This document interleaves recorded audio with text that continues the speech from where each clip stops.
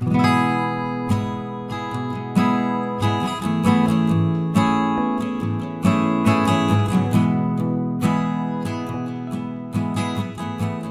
guys, welcome back to the channel. The start of a new project, hopefully a quick build. Um, I was up in the loft just now looking through my plan box for a particular plan, which hasten to add I didn't find. However, um, that's for a future project, a winter project, possibly in conjunction with another well-known YouTuber. We could possibly be building one each, It'd be a bit of fun. Uh, but anyway, I came across this plan, which I'd stashed away since I was a teenager, and I thought, do you know what? I wouldn't mind building one of those for two reasons. One, another club member is building a quarter scale one. And two, I've actually got, let me show you, a hand winder. This one's got 100, 100 meters on it. Um, I don't propose to tow a glider up from 100 meters away, but it works very well. It's about a 12 to 1 ratio and it's beautifully made uh, from a, um, a, club member who uh, sadly has passed away. But he's, I saw this and thought, ah, this I can use this, so it's now in my possession. Um, so what is this model I've I've decided to build for a project? Well, let me show you the plan. It's a little bit um, little bit moth-eaten, as you can see. Um, but there it is. It's the Veron Slingsby Prefect Mark 1 tow line glider, which is ideal for this. I can tow it up. So um, as you can see, the plans are a little bit tired and I've got no um, formers or wing ribs showing. However, a quick look on um, Outerzone and of course the plans were there. So I printed up a new set which are identical to that set and tape them together. But also, most importantly, I've got the formers plan and the wing ribs plan. So with these bits, I shall build myself a beautiful, it's 30 inches by the way, which is a decent size. Um, and also while with my plan, I've got the building instructions.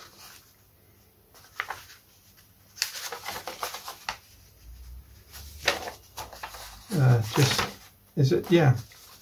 To put my other glasses on to read it. Um, there's there's one thing I'd noticed there's no CG marked on the plan but I see here there's a balancing and flying section insert plasticine through the cockpit and onto the rear face of the nose block adding sufficient to make the model hang slightly nose down in its normal gliding attitude when supported by the fingertips under the spar so there we go uh, it balances on the main spar, which is where you'd start anyway, about 30% of the chord. So that confirms that. So I shall start with the fuselage. Oh, lovely elegant wings, aren't they? You could, I actually, you could make it rudder controlled. What if I should make it rudder only?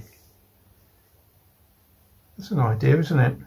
Free flight is fun, but if I've got rudder control, nice to mix and match up a little bit, isn't it? Oh, by the way, Phil Smith, the designer. Phil Smith, as you probably know, a prolific designer for Veron.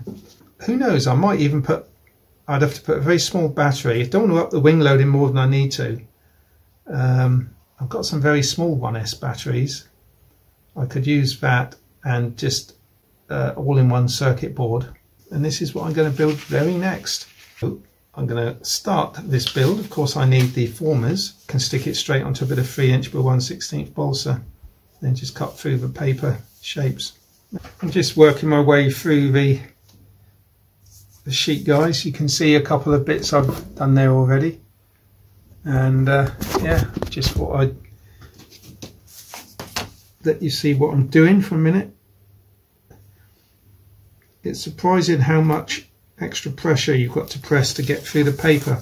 The good thing about the paper is um, when you cut something close to the end of a, like say, that piece there, that could easily split across there without the paper on. With the paper on, it doesn't uh, doesn't split.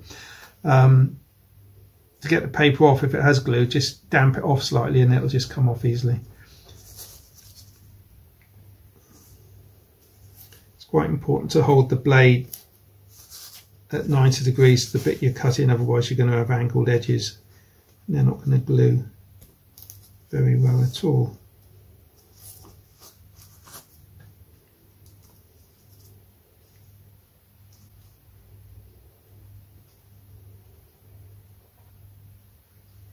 Just watched um, a couple of videos. That's why I haven't been filming. I've been watching videos while I've been doing this. Uh, one from Downwind Checklist. Andrew, he's just finished his Hurricane. And and Mark Croucher building his Jungmeister. He's just put on the start of the undercarriage. So two very interesting videos to watch there.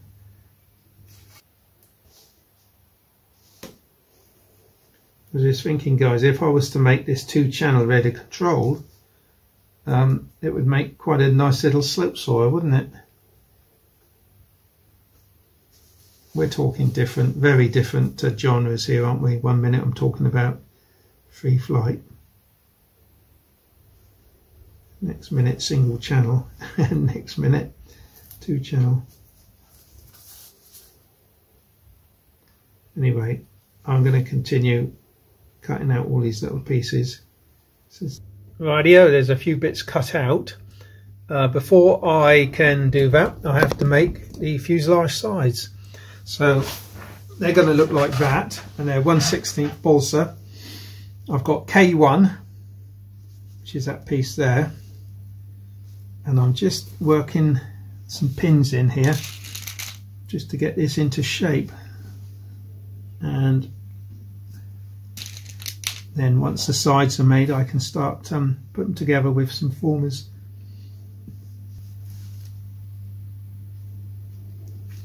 These were used as training gliders and I think they were also used in the ATC, Air Training Corps.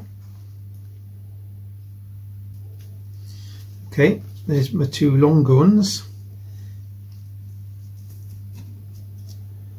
Okay, now all I need to do is to cut all of these diagonals. One there, an upright, another diagonal, working my way along and I'm going to produce a side like this.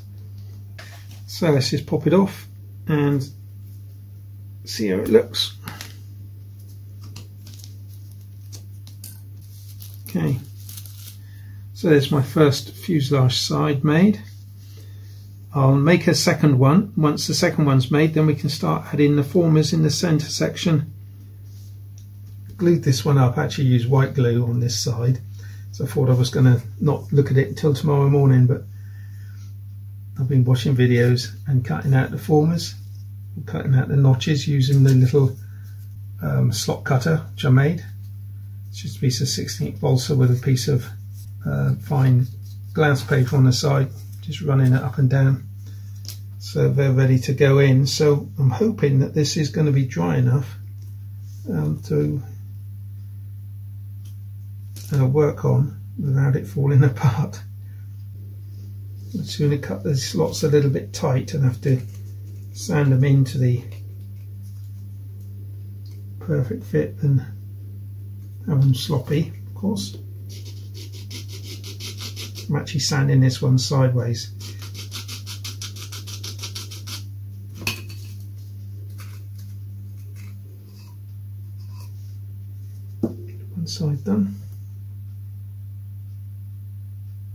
Okay guys, let's see as much as I can do pin to the board.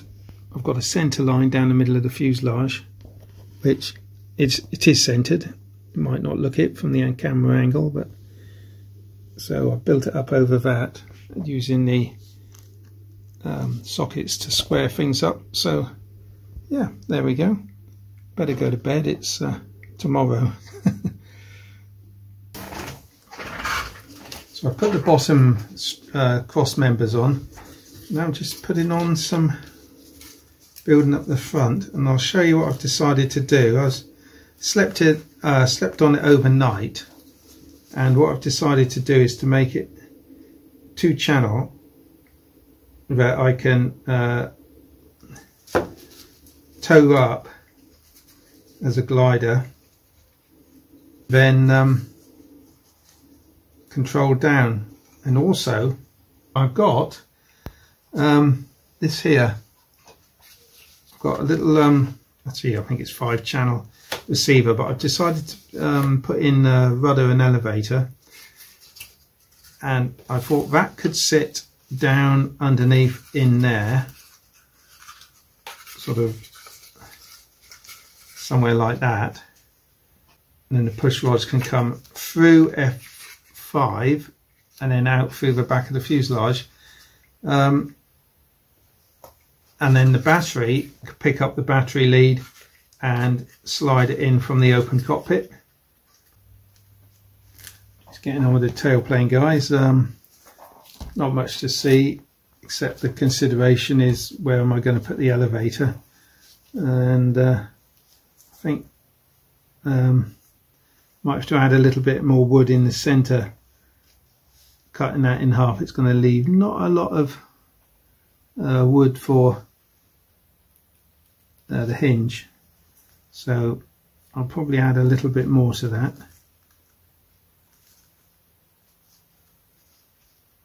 Right, that's the tailplane setup. I've put an extra bit of wood in the middle to allow me to separate the elevators and an extra bit this side just to help mount it onto the fuselage. Uh, and then I'll cut it right down the middle. I'll put a block of wood on the front of the fuselage, big old ugly block that I had laying about uh, so I can carve that to shape. Tell you what I could do though is to stick this to a piece of balsa wood and cut out all the ribs. While I cut through them, I'm just doing the live stream at the same time. That is for channel members.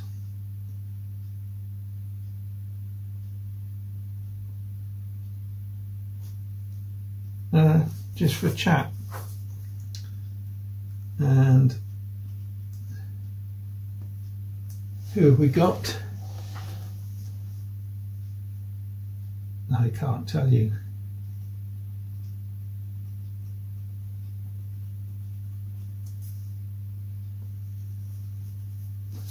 A live stream though is good for anyone that wants to watch at a later date. You should find out via um, notifications, I guess.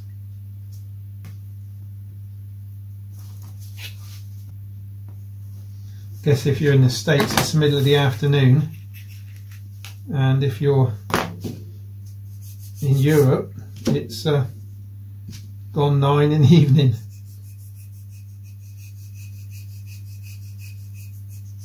I guess if you're in southern hemisphere there's a, probably a 12 hour difference. Perhaps you're just getting up for breakfast. There we are, it's another one done. I know as soon as um, somebody comes on, I'm not, I'm not going to be able to get much more done because I'll be gassing.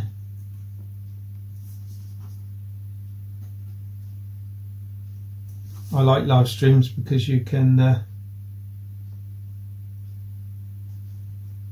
sort of get on with stuff at the same time as you know, when I'm watching other people's live streams, I don't necessarily say hi, which is a point because does that mean could be anybody else watching? I don't know. Oh, no, there isn't, so it doesn't matter. I'm talking to myself currently, which because I do all the time. I'm talking to the camera.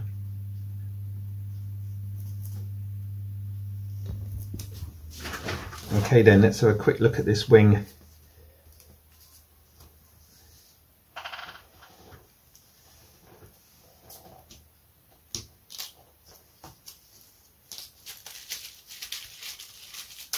It's made entirely of CA, apart from the joins on the front and back edge. Now, I don't feel it's got a huge amount of strength, but it doesn't feel too bad, I guess. I don't think it's going to withstand a um, cartwheel or anything, but I don't uh, plan to do any. so I'll trim that and uh, these end bits and get the other one laid up. I'll set the other wing up guys and then we'll have a look at them. It's going to look fantastic actually. Quite a big wing that isn't it?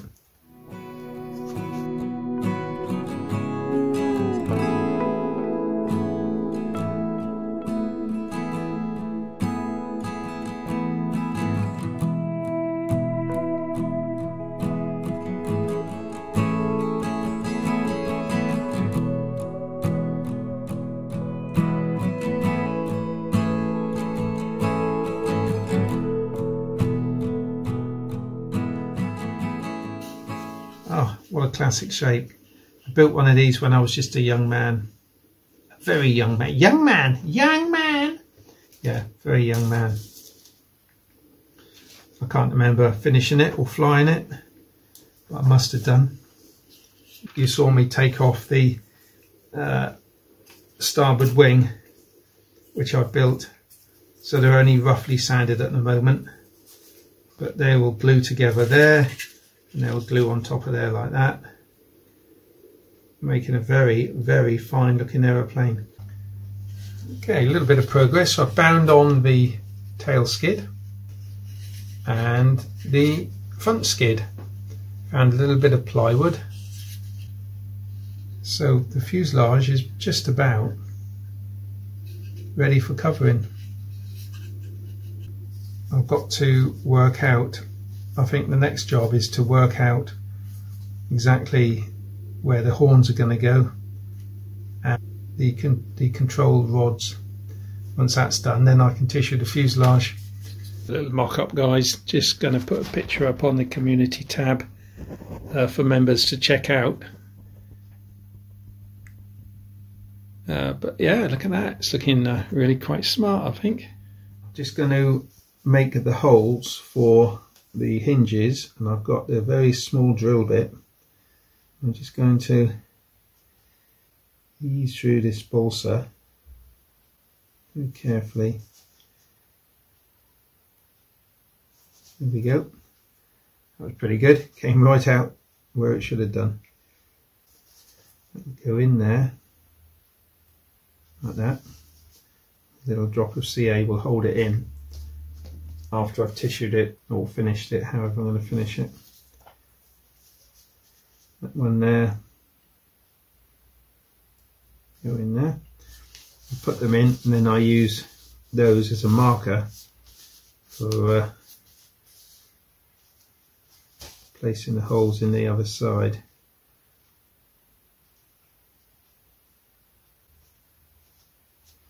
The wood was a bit thicker, you can just, just push a pin in. That's what I do with thicker wood, just push a pin in is good enough. But um, a pin on this wouldn't work, it's just too delicate. And with a bit of luck,